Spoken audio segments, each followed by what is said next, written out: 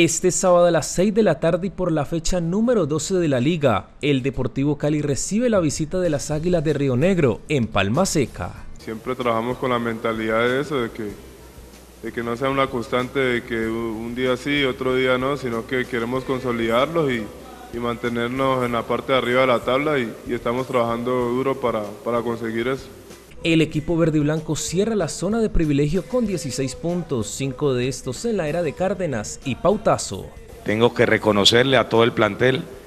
es la actitud que han tenido frente a situaciones de adversidad, que nunca pierden el control y por el contrario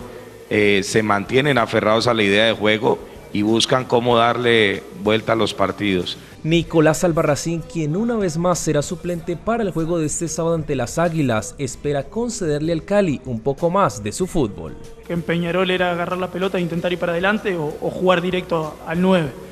Pero bueno, creo que eso me fui adaptando y bueno, la verdad que, que, la confianza que me ha dado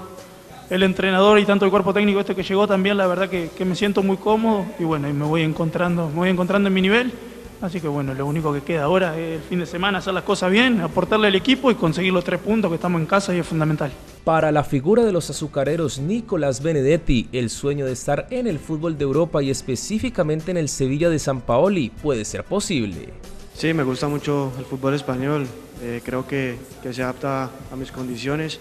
eh, lo sigo mucho y, y la verdad me, me gusta mucho.